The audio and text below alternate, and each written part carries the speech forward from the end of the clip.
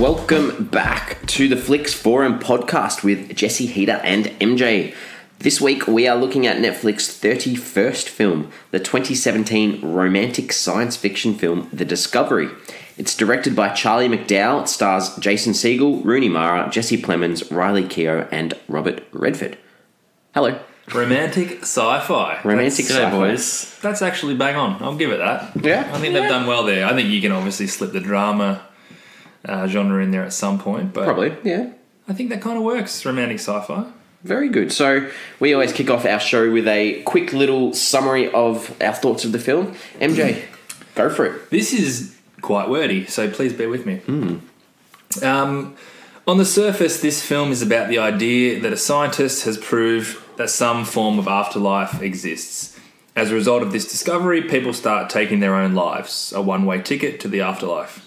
On closer inspection, this story is about the idea of finding connection with others, your place in the world, and experience all the emotions that a human being is supposed to experience in life. And that's the real discovery. Hmm.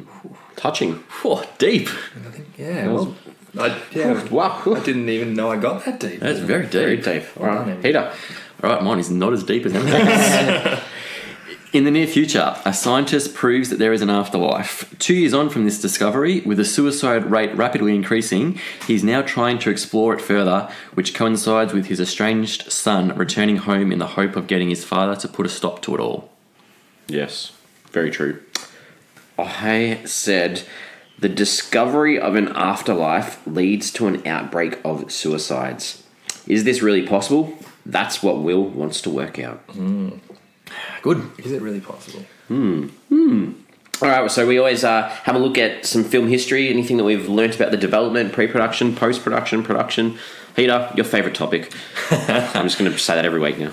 Oh, I I feel like I, I keep going with the same one, but we're back to the Sundance Film Festival for this one. We are. So premiered, yeah, the Sundance on Jan 20, released on March 31 on Netflix afterwards. It did have a cinematic debut in America before that. They they uh, did a release on the 20th of March on Rhode Rhode Island in Newport where they actually filmed it. So they did like an opening. So night. just on Rhode Island? Just on Rhode Okay. Island. Yeah. yeah. Okay. That's where it was all filmed, wasn't it? Yeah. So, yeah. yeah. It was shot in 25 days as well. Yeah. Pretty short. I can see that. Yeah, it was all kind of good, all condensed. Not a lot of in one area. locations, yeah. Yeah. So the director was direct. His girlfriend's Rooney Mara. Yep. Yeah, and his mother was in the film as yeah, well. Yeah, his, his mother was in it, so just a big family affair. He's Malcolm McDowell's son. Ah. Yeah. Wow. Oh, Yeah. didn't that, I didn't pick, yeah, didn't, And didn't pick that. He's a step, a wife, Malcolm, stepson yeah. of Ted Danson. wow. So obviously his mum remarried Ted Yeah. Danson. And Ted Danson was in his last movie. Malcolm McDowell. Yeah. So he was born to be in film. Yeah, he Yeah. was. So his last. He's or- done, he's, he's done a couple of things. Oh, his- sorry, his probably his biggest film is the one I love with Elisabeth Elisabeth Moss and Mark Duplass. Um, Similar sorts of themes to this. I believe Yeah, so. It's, uh, it's about relationship and Yeah. like a, I think like a marriage. I've not seen it. But, We uh, like Mark Duplass, don't we? We do, yeah. I'm keen to see that film, the one I loved. yeah, I've, I've put it on my watch list ever since all this. 7.1 out of 10 on IMDb. Ooh, from bad. 31,000 ratings. So it's Good one. People have seen it and people liked it. So It's done a bit of Silicon Valley as well. yeah, I saw that as well. The film, though, originally um, it was originally written to take place in like a sleepy little rural, rural sort of town, and then uh, Charlie McDowell they rewrote it because they found the location and they fell in love with the visuals of the area. And I thought the Yeah. visuals of the film were really Oh, good. they were really good. Yeah, Yeah. and I think it, It worked really well. The fact that it was on, It had to be on water. water. Like, I can't. I can't imagine it not being on water now. but also it felt they felt separated from the rest of the world as well. Like Yeah. making a point of taking also- that the ferry, has across. to get there. Yeah. Like, yeah, I'm, I'm not sure how a lot of those things happen if it's if it's in rural and you don't have that water aspect. I like the fact that so um, Justin Lader, who wrote the film with um, Charlie McDowell, so they've worked together, the, the pair of them as well. And after they finished the one I love, he's like, I got this idea for another film, and Charlie McDowell's like, dude, like we just finished this one, like we just finished it. He goes, no, no, I know, but I just want you to answer this question: What if the afterlife was scientifically proven, and how would humans react? And they're just like, and they just like they were just straight away just started writing it and i could totally understand how that notion i love it when there's a film that thinks about this this idea that no one's ever thought of, and you're like, oh my gosh, Yeah. what would happen in that sense? Yeah. And it's it's such like I don't know. You used to call it like it's I don't want to say common thing, but it's just like so obvious. It could be like a movie or something. Like It it's this thing that's kind of like everywhere. Yeah. Like oh my god, there's finally actually someone's actually finally doing it. Hmm. Had a, one of our I think it's one of our first ones where someone's been replaced on a movie. I think there's may- maybe on the International Assassin or was the uh, The Do-Over. yeah, no, No. The, the the Kevin James one. Someone pulled out, but um, yeah. So so Nicholas Hoult was cast for the lead role, but had to drop out, and Jason Segel replaced him. It's a really different film. Really different. I'm really glad they went that way because I, I thought Jason Segel was really good in this. I, I can't imagine Nicholas Hoult as that I can Main guy? see it. It would be okay. very He's different. Different, though. yeah. It was. It's a different film. I mean, Nicholas Hoult's obviously been, been in a lot of stuff. Um, for me, the, the, the main one I think Nicholas Hoult straight away it's Mad Max Fury Road as Nux, and I'm like, oh, but that's a Yeah, O- obviously it's completely different. I, I guess also, it's not- I I found this out after after watching the movie, and I'm like, no, I really like Jason Segel in this movie. I'm really glad there wasn't. Nicholas Hoult and Rooney Mara feel like a better pairing, though. I, I do agree with that. I mean, I didn't really like the pairing of Rooney mm. Mara and Jason Segel, I was, but yeah, that actually now you say that, yeah, that, that pairing makes a lot more sense now. I was thinking you could have almost had Leo DiCaprio, like a Shutter Island type performance. Straight away, it's, it's too much like much Shutter. Island, then, isn't it? Like, Leo DiCaprio would have been huge. yeah. I, mean, if, if you're getting Robert Redford for a, Yeah, for I a know. Netflix movie, like, surely Leo's going to do one soon. So I was reading about that as well. So the director obviously put Charlie McDowell obviously put it out to agencies or whatever, hmm. and someone mentioned that Robert Redford had was was available during this period, and he's Yeah. like, dude, like Robert Redford's not going to do this Yeah. film, and he met with him. And Robert Redford's like, you would be so surprised at how many people just think that I wouldn't do things or I'm not around for things. They just don't even ask me. So he's he just doesn't even get asked. So he read the script, he liked it, he read it, and he's like, yeah, I'll do it. And he's like, I, how do I have Robert Redford? I've got Robert Redford doing a movie. Like, oh my He's god. He's retired now, though, isn't he? Isn't it? He has retired now. You know, like, but do you ever retire? he's, Like, he's amazing though.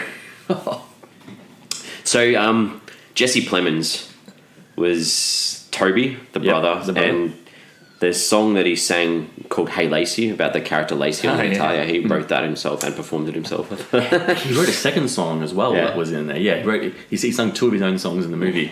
is it the post credit scene? You see the post credit scene? I did see the post credit. I'd like to Oh, talk like- about that a bit later on. Okay. Yeah, Um, Jesse Interesting. Plemons is an awesome actor. He is He's- an- This is a small role for him. Fantastic. He's an has anyone seen the uh, Black Mirror episode where he plays Yes, the I have. captain of the? I have. I haven't. No. Oh, so he was so good in that. really good so good in that. Uh, the other thing I had was the mansion, that big mansion that they filmed in. That's the mansion that they used uh, for the Dark Shadows TV show, the Collinwood. Colin, Yeah. No G, the Collinwood Mansion. Show class. Boo. Anything else? Um, I don't want to steal your thunder, but I saw a product placement. Yes, I did too. Good. Yeah, I assume it was the same one. Apple The, the iPad. Yep. and the MacBook.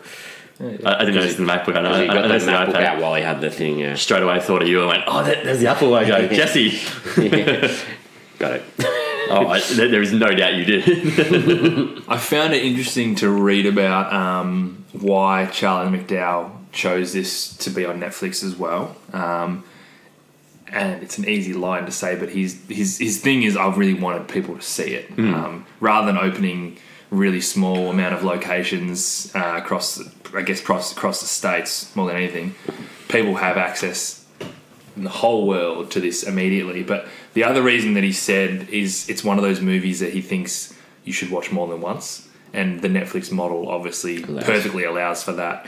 Um, and that is certainly a vibe that I got from this film. I can vouch for that. You watched it twice. I didn't put it on Letterboxd. So I didn't want to tell you guys. I watched this twice. Did ya? Yeah. So I finished watching it, and I'm like, I want to watch it again. I watched this. Yeah. So uh, so I've got that in my. I, I want. I watched this. I watched this a week ago, and then two nights later I watched it again.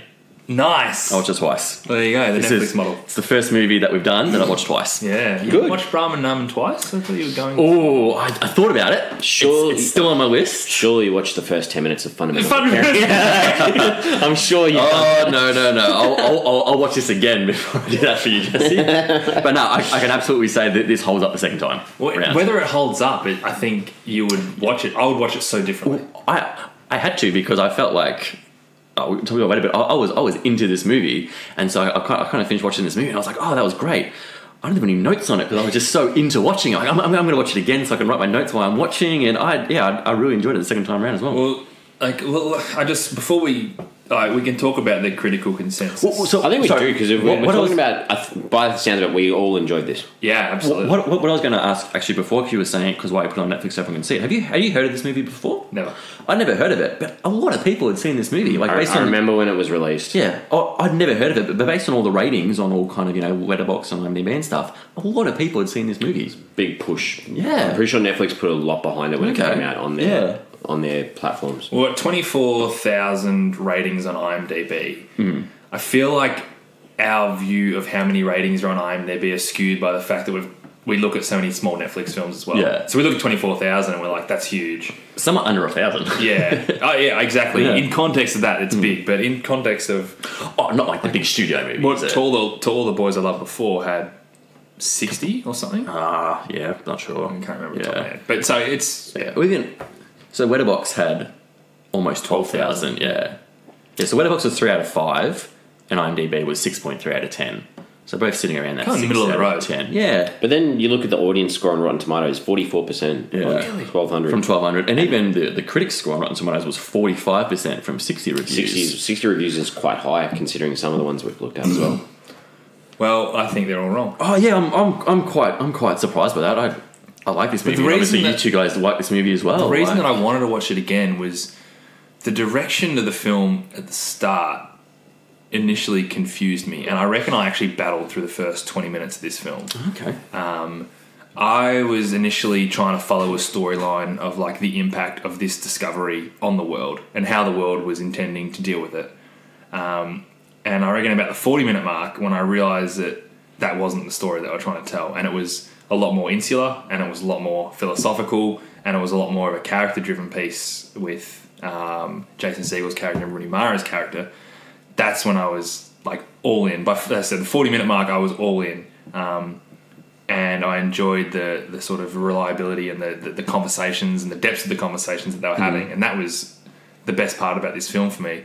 That's why I want to watch it again because I'm, I'm watching the first 20 minutes, ignoring Yeah. it, not even thinking about See, that. because I think the first 20 minutes is a good setup for what comes on later. So I reckon you'll probably pick up on, if you watch it a second time, you'll probably pick up on more, or like on that I character d- I side definitely things rather yeah. than, yeah. So I, I I'll, I'll, I'll differ to you in that I was in from the start. So I, I really liked that kind of first start bit where it was about kind of like oh you know the afterlife and the effects and things like that. I, I was all in from the very start of this movie. So I was I was I was in on that, Yeah. but that wasn't what the film was about. So the first scene was awesome, hmm. where the guy shoots himself. Oh, it's fantastic. I, I, yeah, I love it when a, when a scene, I'm hmm. sorry, when a movie is like not screwing around with you, and they're hmm. straight into it, and we've seen that with, actually with a few of our films.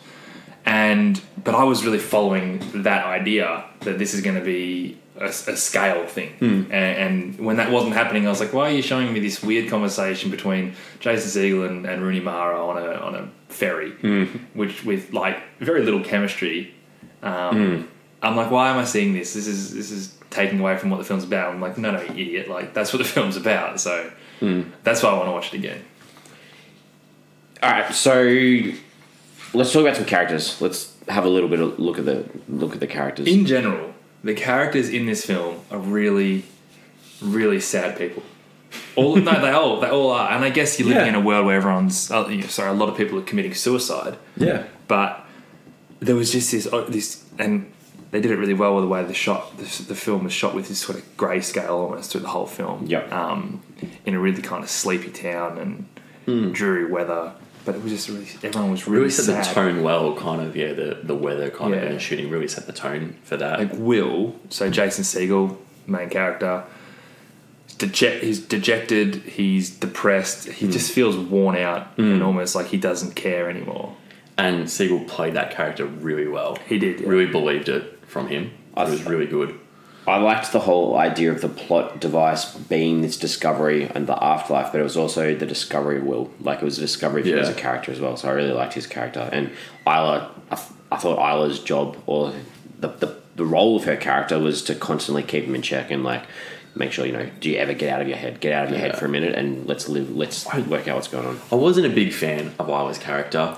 I, I wanted more maybe more backstory, just more from her. I'm not sure what I want more, but yeah, I mean, compared to I I really liked Will and uh, I really liked Toby in that, but I just Isla's character just left me wanting more. She's arguably more important than Will as like the key driver of this film because all of Will's actions are to do with Isla. Yeah. And it focuses around Isla.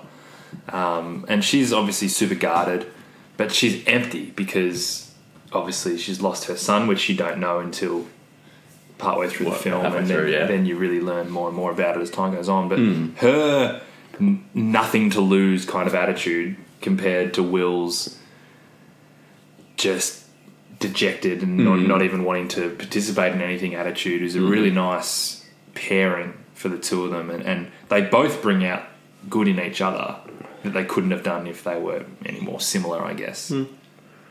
I, I didn't like Toby.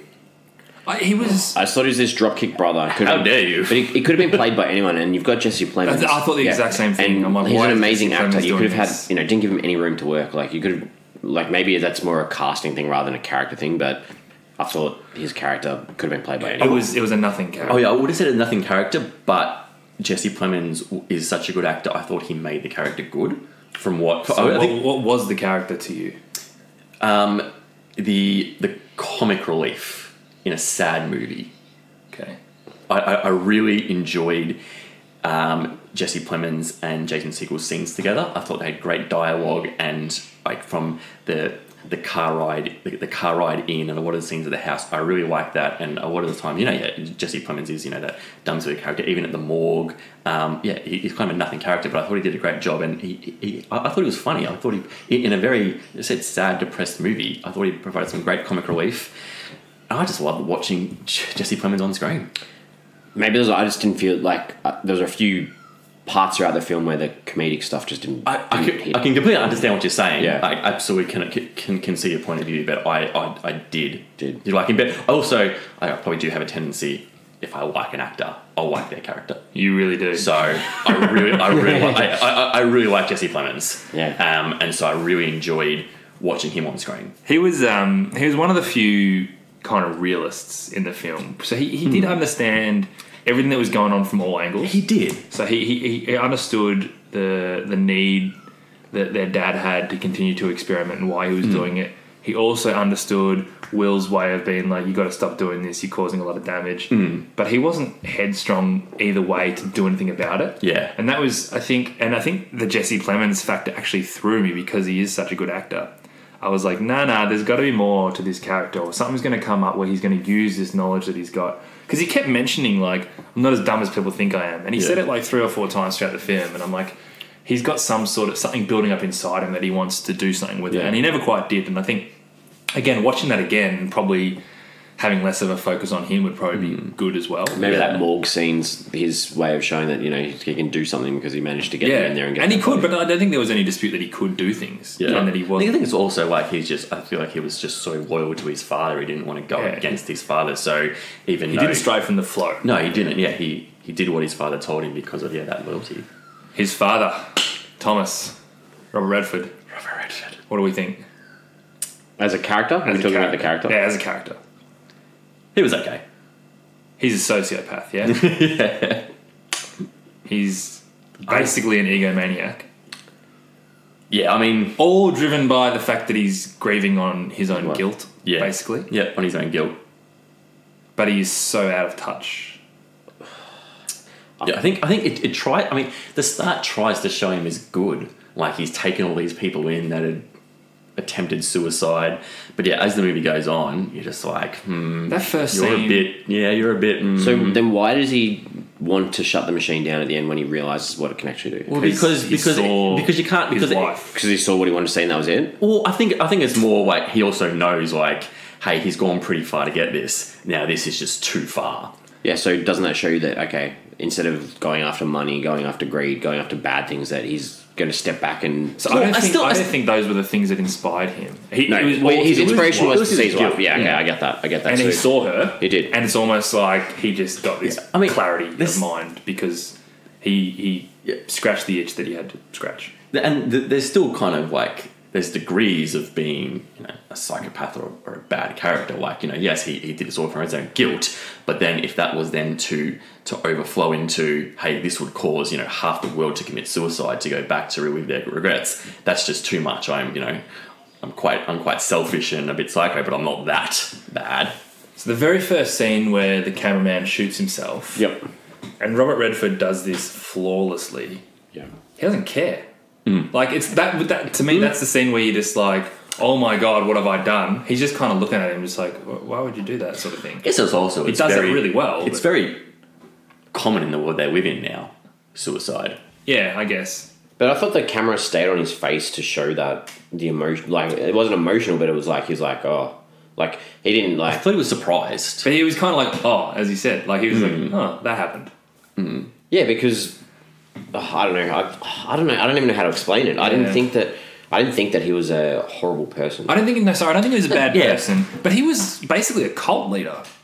But, and that's what Will says. Like uh, in some of the movie, he tells Toby that Dad is running a cult. What does he do with what's her name? Lacey. Lacey, Lacey. La- La- uh, Lacey. Lacey when he embarrasses her in front of everyone and boots Yeah, her out for no real reason. It's in one of my bad scenes. That's why this guy is he's like this uh, like a mad scientist. Like he, he's but he's you're seeing him progress into it Yeah, more he's, more. he's just got the, the the big ego that you know. Yeah. I don't sorry, I don't think he's a bad guy and was always a bad guy. Yep. I think that the, the guilt that he has with the way his wife died Correct, yeah. and the blame he's taken from that has had a real heavy burden on him and that's why he's where he is.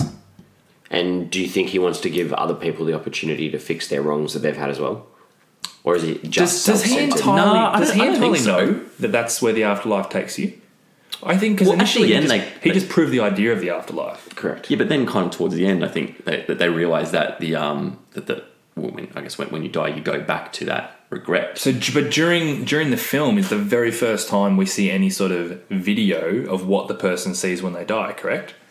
But didn't wasn't that because Yes. they changed the understanding of what the actual thing was? Because at the start it was um, it was just the afterlife. So he thought people kill themselves, they go to an afterlife. Whereas He was basically saying there is an afterlife. Correct, Yes, yeah. and that's all he was. Yeah, saying. that, that's what he was saying. So he wasn't driven by the fact that they can see No, no, no. loved ones. No, it wasn't until Will saw that video was, Exactly, was, was the first yeah. time that it's like oh I, I think he, he was still trying to work out where this afterlife was and, Yeah, and what this he just- afterlife he just was. knew it but yeah, he, he, he Yeah. knew there was an afterlife. He didn't know anything about this afterlife. He wanted to know what it was about. It wasn't until Will sees the video of that guy that's kind of yeah. yeah. about Pat that it's like okay, this is now what we understand about where you go in this afterlife.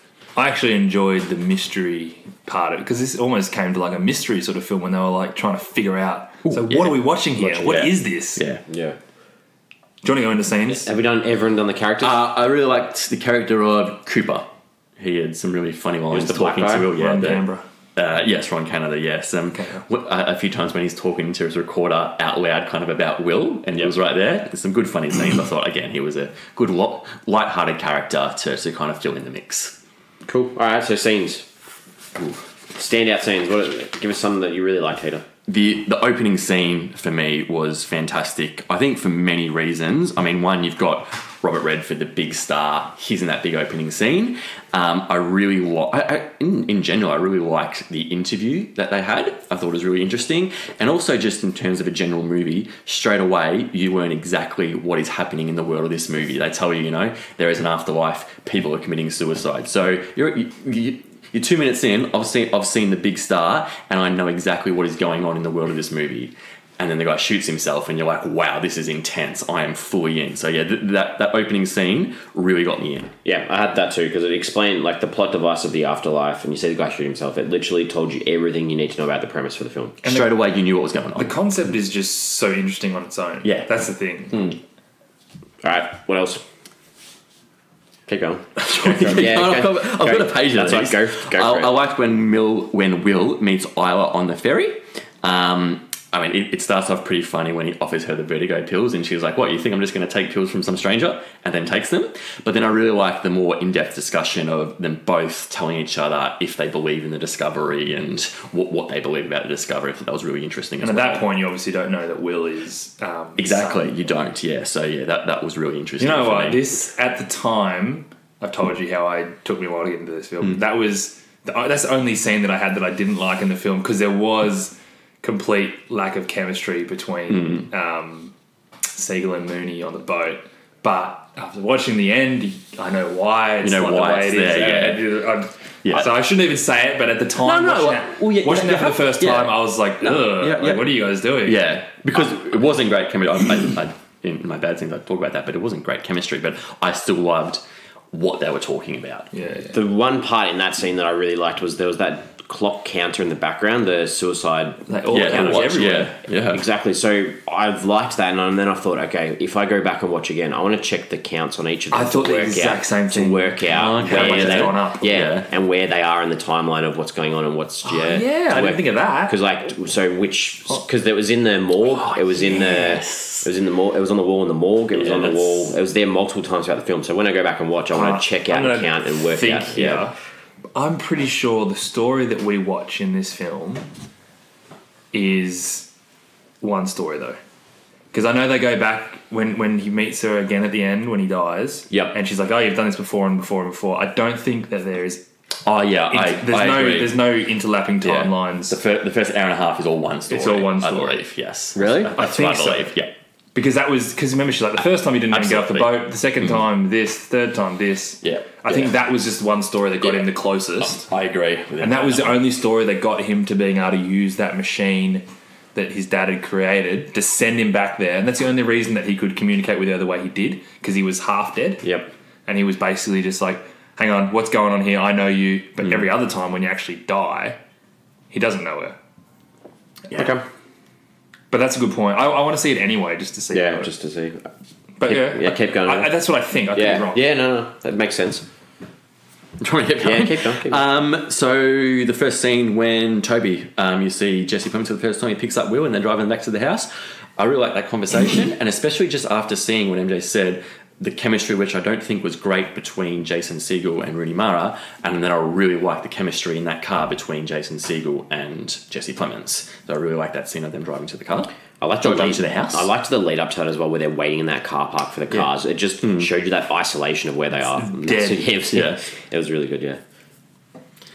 The, um, so when Thomas gives the, I guess the questionnaire, the interview to Isla, some really interesting questions he asks and some really interesting answers um, that Isla gives. I really enjoyed that scene, especially things like how she was she's saying after a loss she hated like her coffee table and her fridge and things like that. I was really intrigued by that. Uh, what of her answers? What did he use the questions for? Like, apart from deciding whether he thought they could You just, stay. yeah, I guess I, I guess that, that's more feeding to his ego. He learns about this person, he decides where they can stay. stay. I don't see how those questions really can relate to like, what was the machine from that our- these people. From our respect, from our audience perspective, I reckon it's just a way to learn. More. That was yeah, excuse to, to learn more about it. Yeah, But there was like- which I did and, and, and was good because you, that was allude to the fact that she's lost someone. Yeah. And I think when you're first watching that, I you assume it's a boyfriend. and you, you already know like she's a bit different. She's a bit strange. Yeah, Because they're hooked up to a machine, yeah? It's a question machine. she is. Yes, she because is. that's the So machine in the like, credit yeah. scene where he's playing the guitar. ah, okay. Yeah. Oh, okay. Yeah, Yeah. same. Okay. Keep going. Yeah. Um, I'm going in chronological order, I think. So the next one was the still in a corpse scene. was very funny. I thought from That was pretty fun. from Will and Isla, you know, they're picking out the corpse to to Toby describing his missing friend to the workers. Like, hey, we haven't even got to the bottom half of his body yet. I I. I I en- enjoyed that that whole sequence again because it was quite a serious film, and then you got a bit of you know lighthearted there to break it up. I, I really enjoyed that scene as well. That's You didn't that, like that, it? That was one part that got to me. So, Yeah? um, they're in the car on the way, and that's where Toby and um, Isla are talking about. She's trying to find out more about how their mum died. Yeah. Yeah. So to me, when they're driving, I'm like, all right, the two of them are just going, and then they rock up to the morgue, and then all of a sudden, um, he's there as well. yeah, that's right. I was I like, who? Will. Will, Will was there as well to Yeah, help him. he, he was in the back. Yeah, I, I get like I get that on the way when they're on Oh, the way back. sorry, on yeah. the way there, I'm like, I just thought it was those two. Ah, having a okay, because he wasn't there, and I, they got there, and as soon as like, oh, Will's here to help. I'm like, hang on, how did he get there? And that just sort of Did he drive separately? I'm pretty sure they you assume they, that he's in the Ute I'm- because I'm- on the I'm- way back he's I'm- in the Ute with. I'm pretty sure they show you him you. in the back of the Ute okay. on, on the way there. Yeah, it's only about half a second. Like they show him back of the Ute, kind of looking kind of sad, and then it goes to to Jesse Plemons pulling out his earbud and going, "Oh, sorry, am I being rude?" But I'm pretty sure they show you Will in the back of the Ute. I just thought it was a nice isolated scene between the two of them. was. Could've been good, being there. yeah. And then I was like, hang Yeah, on, it could could've been rocks good. up? Because he's the one that said, like, I heard, I heard about your mum dying. Oh yeah, she committed suicide. He's Yeah. like, whoa, because you didn't you didn't know that. Yeah, you no, just no. knew she was dead. Yeah, exactly. And this was the one stage of the movie where I don't know why or what it was, and I was going. I remember the poster for this film, and the poster had the character of Will with the machine hooked to his head. Yeah. So from that stage onwards, I'm like, I know he's going to go under that machine at some stage, and that I don't know if that's why that scene's got. To Hmm. wasn't a good poster. No, when you think about it- because it was that was like right at the Right at end, and it's yeah. like ah, because again, yeah, I thought I'm like I, I saw that. that was that. I don't know why it was that. and scene, during the movie, just, it's like at what point does he put those things on, or was that for the poster maybe? But looking Honestly, back, 'cause I saw the poster when I clicked on it or something. I've seen the poster, yeah, but I didn't put two and two together that he would necessarily go under there. I think it's just Yeah. showing this is our star, this is our Yeah. big equipment. yeah, that's that's fair enough. Yeah, I don't know. That was just in my head. I was But like, it's, oh, it's a risky that was thing. like one Yeah. thing. Yeah. Sorry. Keep yeah. Keep going. Here. Um, the first scene in the bunk beds with Will and Isla, I thought was fantastic, where Will is telling the story of how his mum committed suicide. It's really emotional, and it, in fact, just their whole conversation in that bunk bed is a really good emotional scene. I really I like the holding I really hand scene. That was funny. Yeah, Yeah, this is a lot better for you. Than Yeah, because his arms are like up. I agree with you, man. That was that was the first time scene. that the real philosophical conversations came in that I really loved. yeah, Where they're talking about um, life and taking someone's spot and with the suicide and the animals afterlife and yeah. that's when you about realise animals. that they actually yeah. have a lot more in common than they first thought. Yeah, Um So um, I think because she because he said everything familiar suddenly seemed unrecognizable. And that goes back to when she said that about yeah. the She doesn't like the coffee, table and stuff. like that. Yeah, Um, but it also just highlighted the fact that they're just really sad people. yeah, But I like that they they sort of had each other at that point. Mm. That was that was a turning point. I agree with you there. yeah. When Will first watches that video of Pat, Good, that- now you're in my order. So that's, so that's that's when I kind of went, oh, holy shit, what's happening here? Yeah. Where, this movie has now turned. I'm really like I've always, I was already liking this movie. Now we've seen this. Oh, where are we going now? I'm really excited. that left me wanting more. Yeah. I needed to see more. Yeah. Um, and then the returning of Pat's corpse was a very funny scene.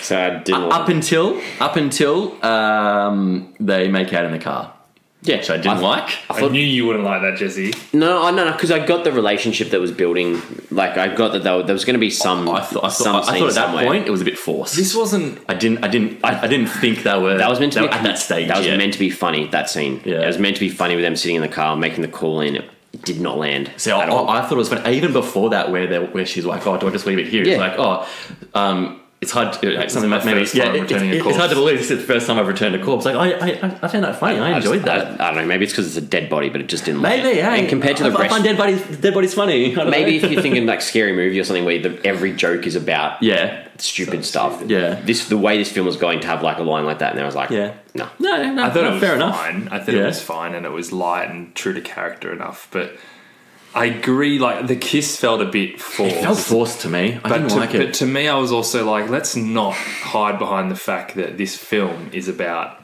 the relationship between these two people, mm, and It had to happen. At it wasn't stage. like a romance for the sake of a romance to that point. Yeah. So I, I was okay with it. Yeah, it had to like there had to be some sort of physical connection between the two at some stage because we've already seen the hands holding like we spoke Yeah. about before. Yeah. So then it needed to happen, but I don't know whether that was the right moment. Well, they to it. shacked up right afterwards, didn't they? Yeah. Oh, well, they got cut in by um, Yeah. Toby walks By in. Jesse. What are you doing? Yeah.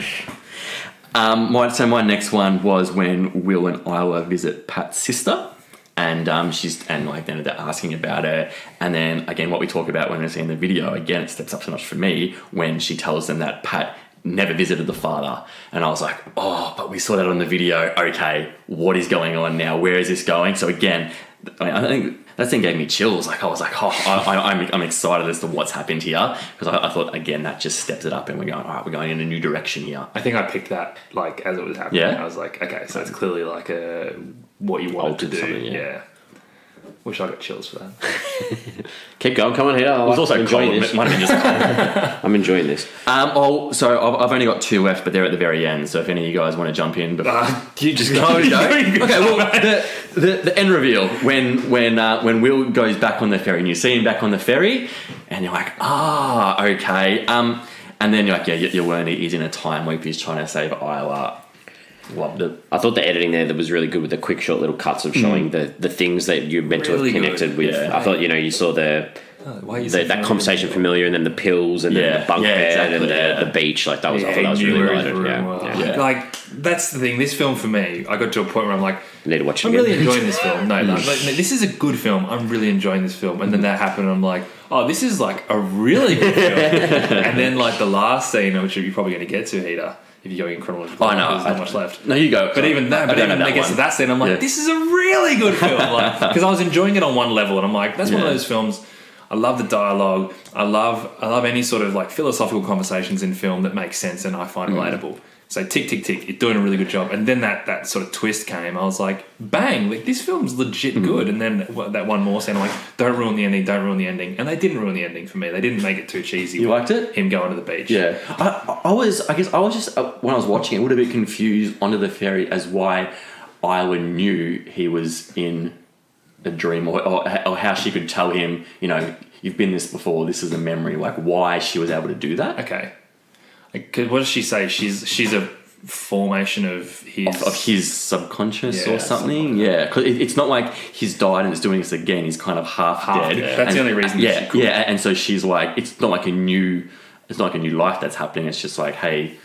Yeah, I, I, I was I was a bit confused by that and a bit like, oh, does that does this make sense to do this? I think it kind of does in the end, but like I, I love the, the the reveal and how it all happened. But I was a bit sus on just yeah, kind of her being able to speak to him on that level. Okay. I, I, bit. I was more talking about the scene where he dies and then he goes back to saving her son. Yeah, okay, Um, yeah, That's where I was like, this is a nice, clean finish. His purpose Yeah. is to make her happy. And in that strand of his life, he doesn't spend it with her. But that's okay because he's making unless her happy. when he turns around, does he go back Yeah, yeah, after you're it? doing- yeah. Does he? Maybe, but it doesn't matter. Um, I was worried it was going to be a real cheesy, bad, weird ending, and I think they did it really, really well. Yeah. Um, I didn't write that in my scenes, but I was just kind of got lost. No, it was good. Yeah. I, I, I could have done with him not even turning around and just walking off. Ah, yeah, but he barely turned around. Like he was kind of like He that kind of turns around and is like, realization, oh, I kind of know you, but also could have been cool. Is just like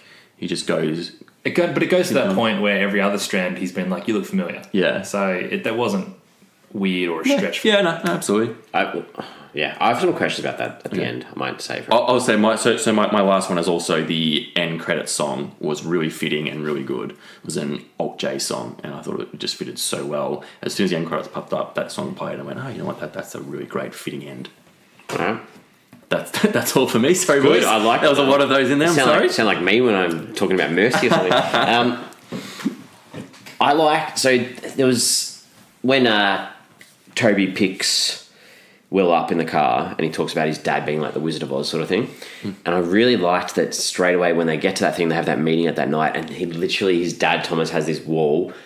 That he's talking to this crowd and he just goes behind the wall. It's like, Like it was exactly like the Wizard of Oz, and I was like, that was really clever. It was a nice little thing. He's like this That's right. I was like, this is really, really good because it was, yeah, it's like just talking to the group. Like, is this guy that no one, yeah. no one knows actually who he's who he actually is or what, what he actually can do because at that stage, no one knew what he's working on behind this Yeah. this door. You don't This- know he yeah. does. So I thought that was I really liked Nice that. one. I thought that was cool. that. I liked throughout the film these those little flashes that you got where you could see these bits of one of these timelines.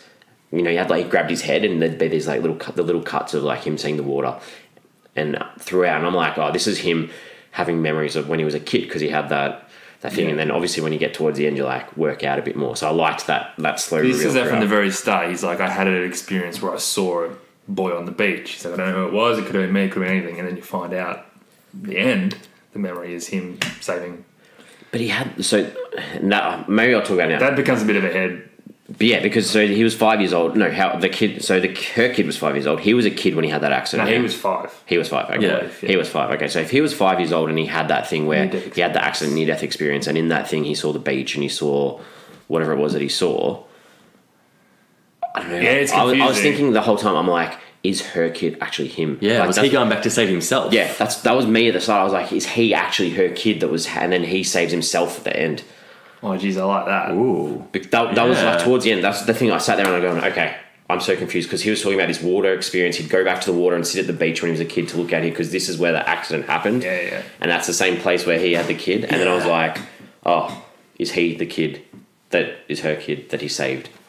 I don't know. Well, that's just, a bit of a head spin, isn't it? I don't know. That's probably completely wrong, but that was just No, like, no, that's no. I think it's plausible. Yeah, definitely. Because it's a stretch regardless. the whole right? thing's a The stretch. whole- yeah, the whole thing's a stretch. Because otherwise, if that's not the case, they didn't explain his near death experience when he was a kid. Because you can't, he couldn't have. If he was a kid and he hadn't died yet, and he had that near death experience, why is he thinking about her kid? Why is he thinking about that memory? That memory, where yeah. he would go back to. yeah, Because unless he died when he was a kid, I get. I Unless guess all the things it's- like why, why did he go back to that point? It's a strand of his. Well, he went back to that point at the end because he wanted to make Isla happy, so she didn't. She so she never lost her kid.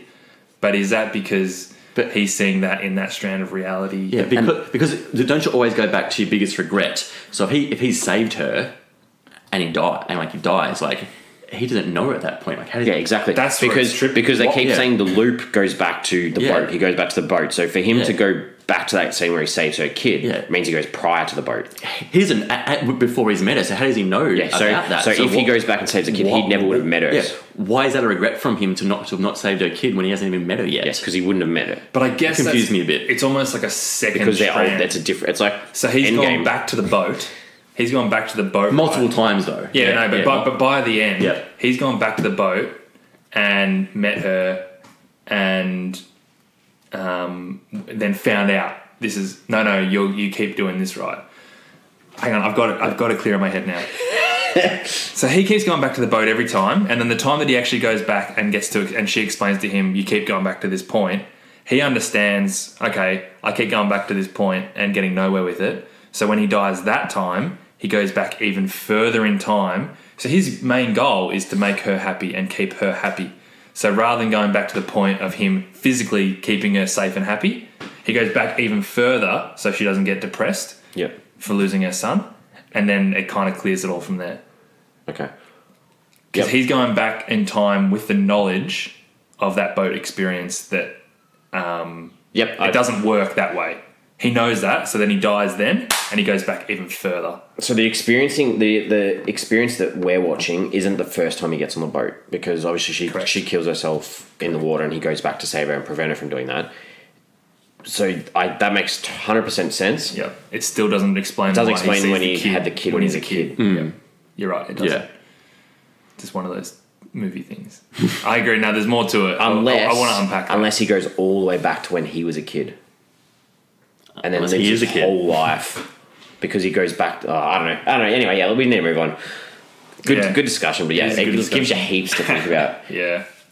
Uh, I liked the shooting of um, Isla at the end because I thought through that editing that it was Toby. I said this is a great example of a bait and switch. Yep. Yep. Really? I, I, Yeah, me too. I, thought the, I thought the exact same thing. because you've seen that scene with Toby Pryor, and then you come out and the camera goes straight on Toby. Exactly right. And you see Toby go around the back Yeah. and just sort of nick off on his own. Yeah, and then the camera's just on him by him. You hear the gunshot, and the Yeah. camera's on him straight. Like, oh, he's Yep. killed her.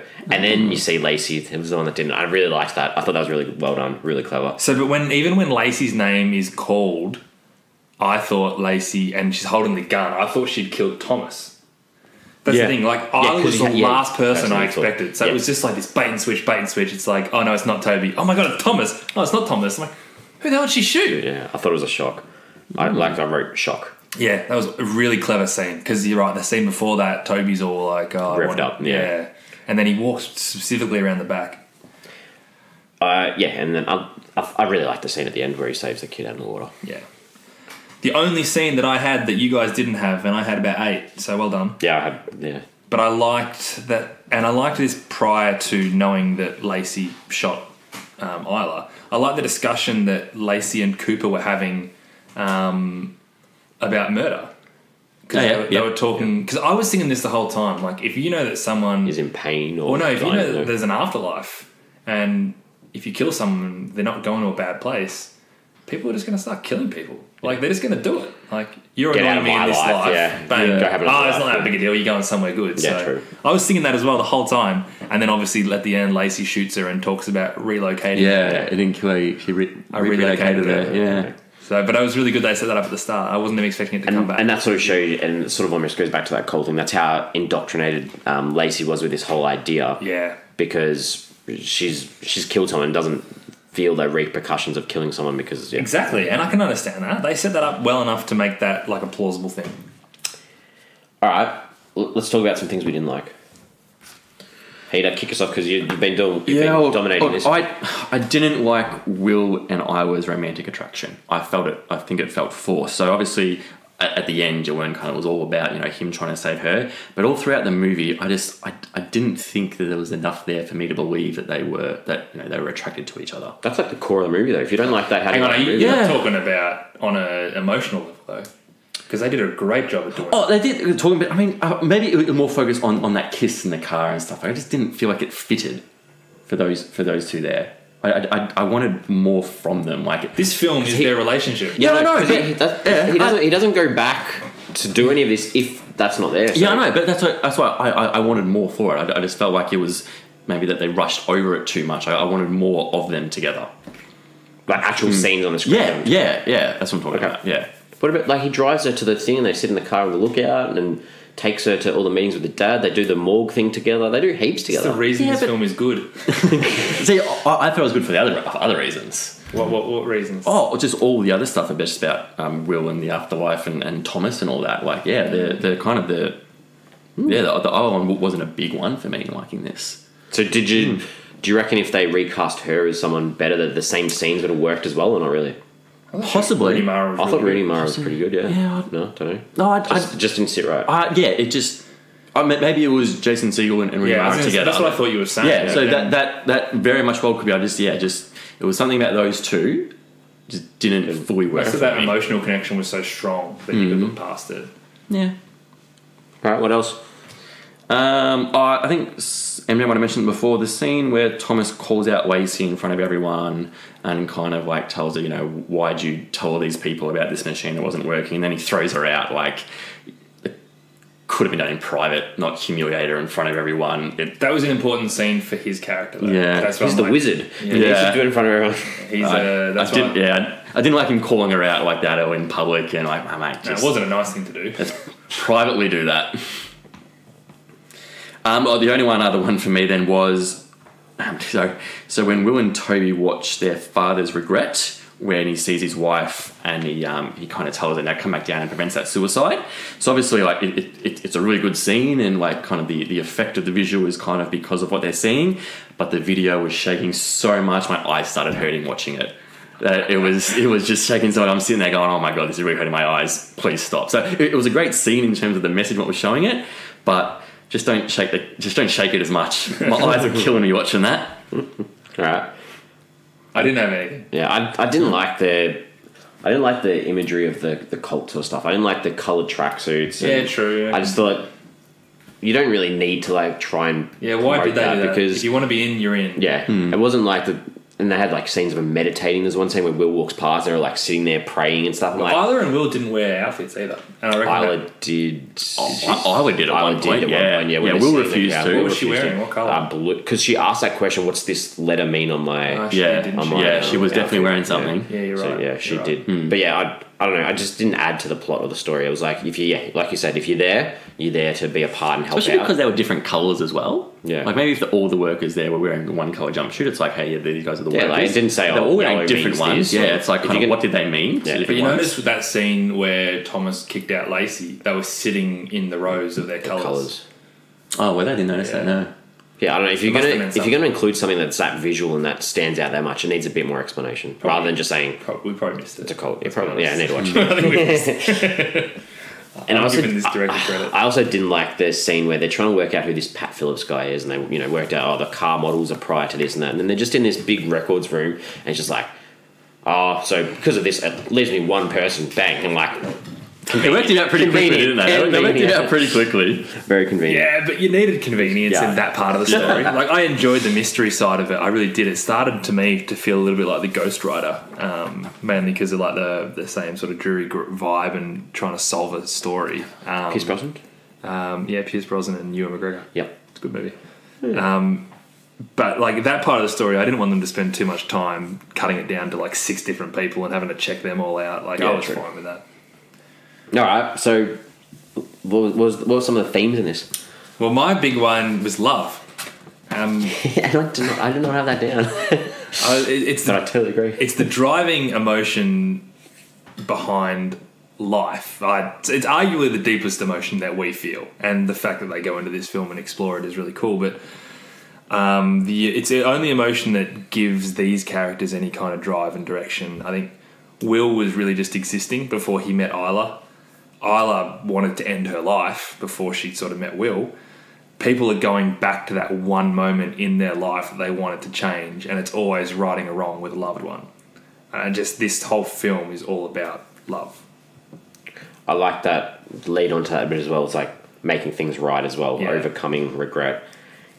But I love, really like that love. Yeah. I, I did, hmm. didn't even, This, this didn't even film was think yet. that's why when Yeah, you said I didn't yeah. like their relationship, I'm like, this Yeah. film is about love. I- It was obviously talking about the afterlife and this theme of like, Yeah, does the afterlife exist? Suicide and Yes. getting there and being better off if you're Have- different places. Having and, that second chance or third chance or fourth yeah, chance, or just you know, keep going, keep yeah. going. like your regrets and things like that. They, they top, touched on it a little bit, like this idea of like proof and needing to be definitive. They kept talking about this. You great, know, yeah, great lines. Yeah, you need to.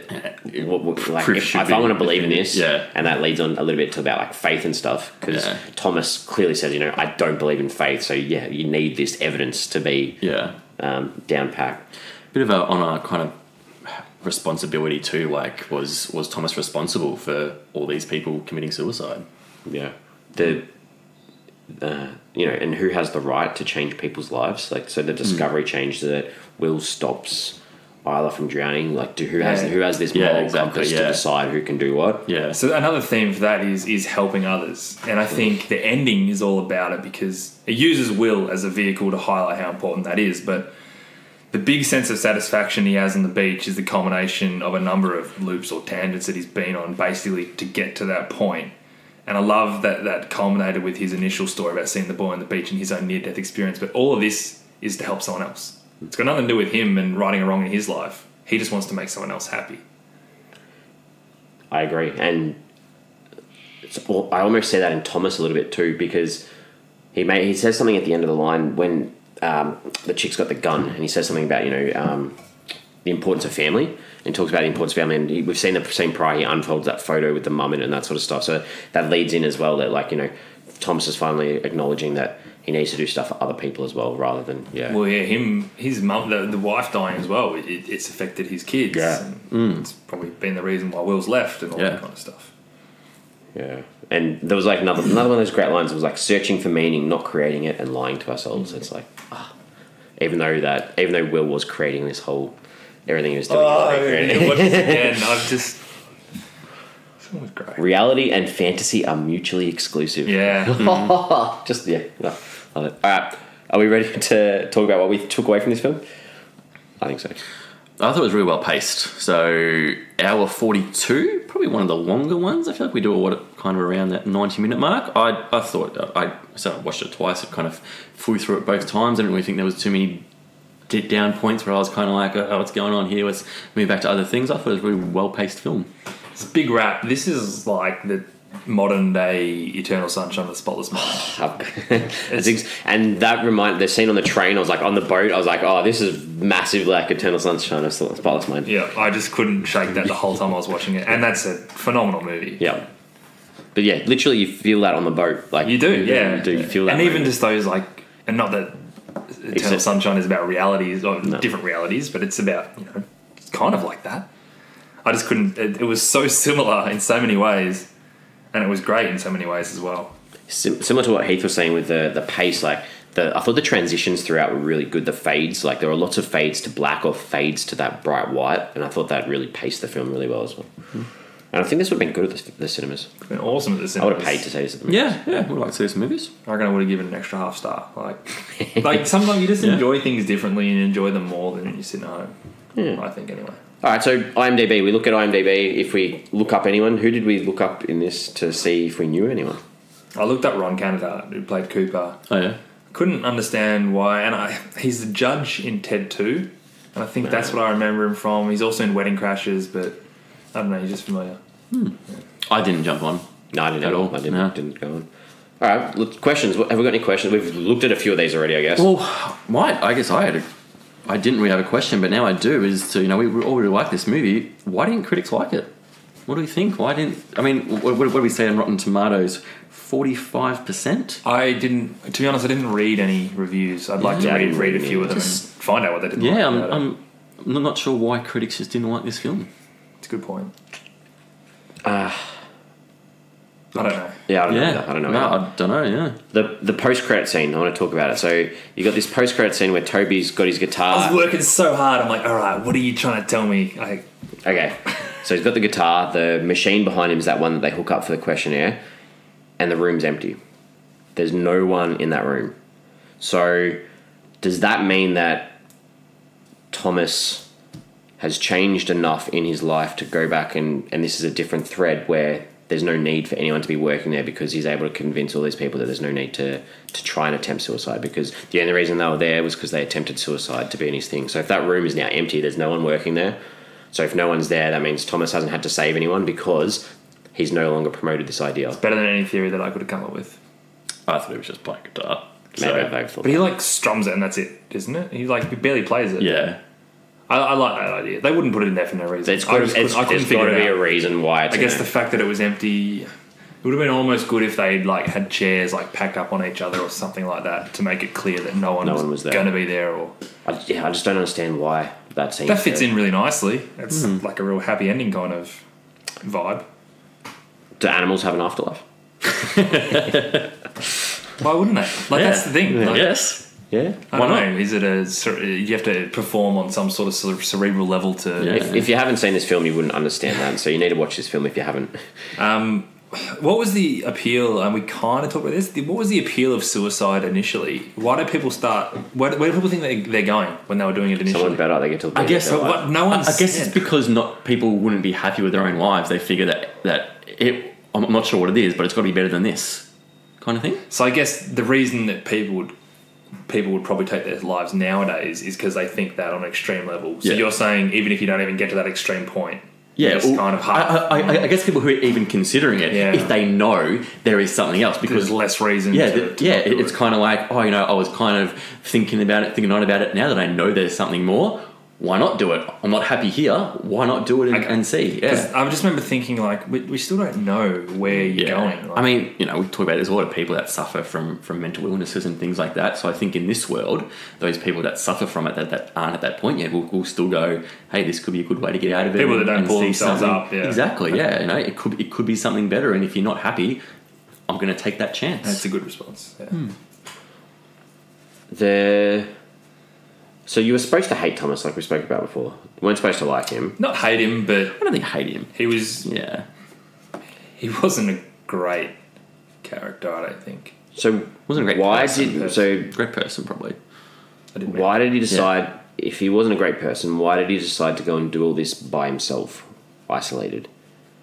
To protect, he didn't. mean? Wasn't doesn't that show you that some somewhere inside him he wants to protect the world from what he's trying to discover? I think he's a bit of an egomaniac. I think. I if he was an egomaniac, why wouldn't he be on the news doing these I interviews think all the time? maybe because he because his ultimate motivation was because of his guilt behind his wife's suicide, and maybe he didn't want people to know that that was his motivation. Like they didn't want him to know that you know he's doing all this because he caused his wife to kill himself. Like he wanted to be like, I'm a scientist. I'm trying to just do this big discovery, and so no one can know my hidden meaning of really I'm I'm broken because I'm I'm the reason my wife killed herself. So, so why do that interview in the first place, and why share your under, your discovery of the afterlife with anyone if you're it's just doing it for yourself? It's almost a combination of both, but I don't think you can discount the fact that he's just smart enough to do it on his own. So Yeah. he didn't need the help, so he could, and he could work in Yeah. those conditions better.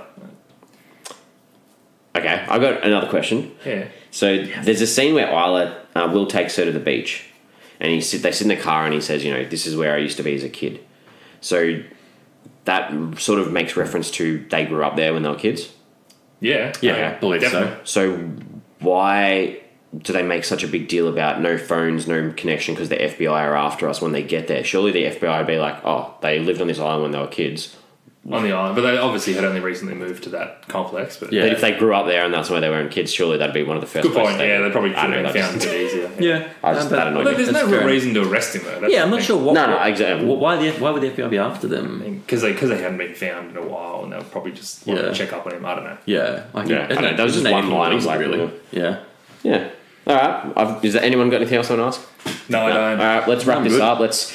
we always give our films a rating out of five and then uh, give an average. Heater, kicks off. No worries, mate. So yeah, I really enjoyed this movie. It, it had me in from the start, and I thought it was paced really well, and I was engaged the whole way through. The story was really interesting, um, and I, I liked a lot of the characters. It, it was a good, solid movie. I give it three and a half out of five. Good, MJ. Um, yeah, from my perspective, as I said, I really need to watch this again. I started off on the wrong path, and when I finally got going with what the film was trying to tell me, I gained traction really quickly.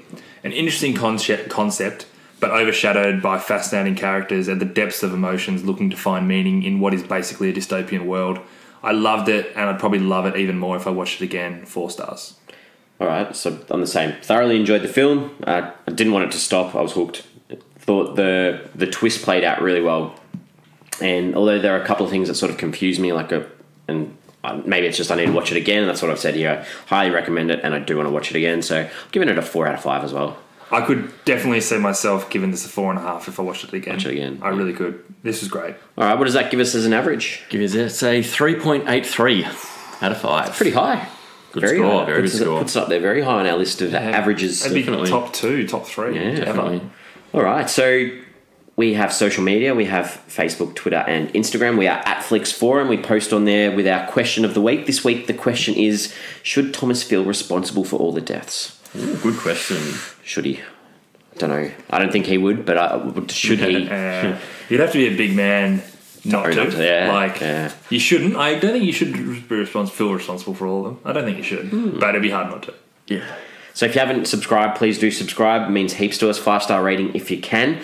Next week on our show, we're looking at the 2017 comedy Win It All. It's directed by Joe Swanberg. It stars Jake Johnson, Aislinn Derbez, Joe Lo Truglio, Keegan Michael Key, and Nikki Excitement. So please take the time to watch the film. Nikki what? Nikki Excitement. Now I looked this up twice. It was on IMDb and it was on Wikipedia, so I'm taking that as the name, Nikki Excitement. Okay. Excellent. So yeah, watch the film beforehand. This has been a good one, guys. We've gone quite long, over an hour. Over an hour. Over an hour. It's a big one. Oh, you know, it's a good discussion. then. Hopefully, most people have stuck it through and, and listened, and they want to join in with us. Yeah, should. Great. All right. We will see you guys next week. Bye. Thanks, boys.